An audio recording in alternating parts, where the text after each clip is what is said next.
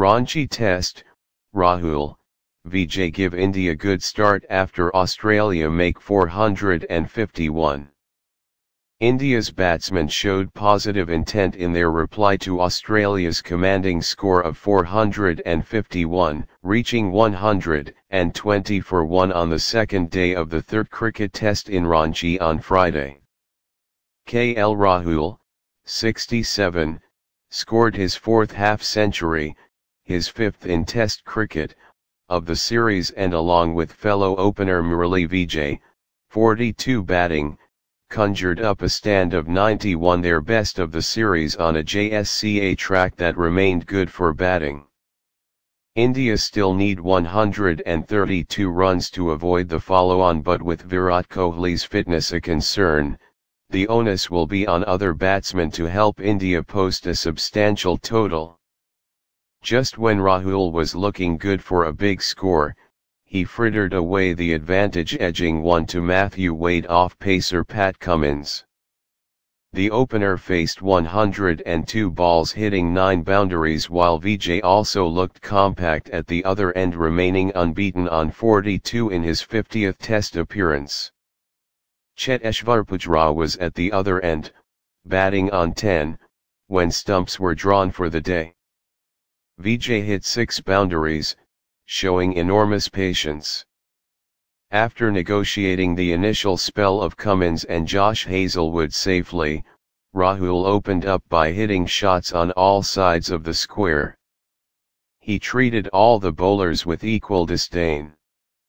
Cummins was hit for three boundaries, so was Steve O'Keefe while Hazlewood was dispatched to the ropes on two occasions. Earlier, Steve Smith posted the highest individual score by an Australian captain in India, smashing 178 off 361 balls with 17 boundaries to his credit.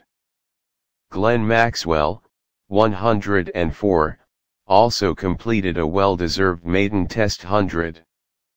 He had 9 boundaries and 2 sixes in his 185 ball knock. Smith Maxwell put on 191 runs for the fifth wicket, laying the foundation for the big Australian total. Australia's last five wickets fell for a mere 56 runs, which prevented Smith from completing his double hundred. For India, Ravindra Jadeja, 5-124, bowled with a lot of heart. Equally praiseworthy was Umesh Yadav's performance, 3-108 in 31 overs, who bowled with pace and got the old ball to reverse on a consistent basis. Ravichandran Ashwin had a bad day in office as he got 1-114 in 34 overs. More noticeably, not for once did he look menacing on a track that did not offer much help unlike the first two test matches. Smith batted more than eight and a half hours as he was epitome of concentration. At the other end, Maxwell shed his T20 specialist's tag, showing adequate restraint while punishing loose deliveries over four hours that he was at the crease. Smith was also involved in three of the four half-century stands as Australia posted the highest total in a series that was previously dominated by the spinners. After Maxwell's departure, Matthew Wade notched a 50-ball 37, 6x4, in a quick 64-run sixth-wicket partnership with Smith. But Jadeja put the brakes on the scoring, dismissing Wade and Pat Cummins, 0, 10 minutes before lunch to infuse some energy into the Indian camp. Introduced in the sixth over, Jadeja bowled and took all the three wickets in the first session. With Ravichandran Ashwin, 1-114, returning wicketless on day 2, Jadeja had to take the bulk of the workload, bowling 49.3 overs. Jadeja also completed a fine run out of Josh Hazlewood by backflicking Rahul's throw in a MS Dhoni-like dismissal to bowl out Australia for in 137.3 overs.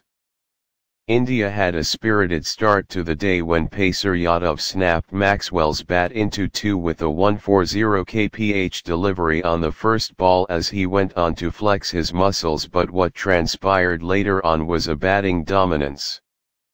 The Indian camp looked dispirited in the absence of skipper Kohli who remained away recovering from a shoulder strain after his awkward dive on Thursday.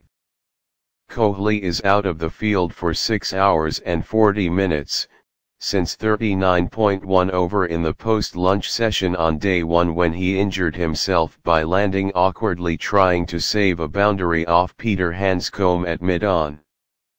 His absence from the field however would not affect his number 4 batting position with this being an external injury.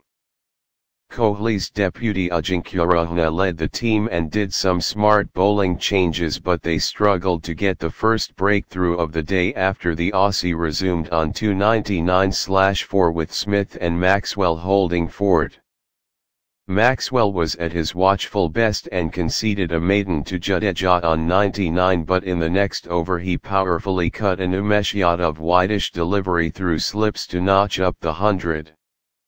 Maxwell is now the 13th player to score centuries in all the three formats of the game. Having played his last of the three tests in October 2014, Maxwell made a comeback in place of an injured Mitchell Marsh as he made full use of the opportunity becoming second Aussie after Shane Watson to post centuries in all the three formats. His partnership with skipper Smith gave them a fine advantage in their bid to retain the Border Gavaskar Trophy.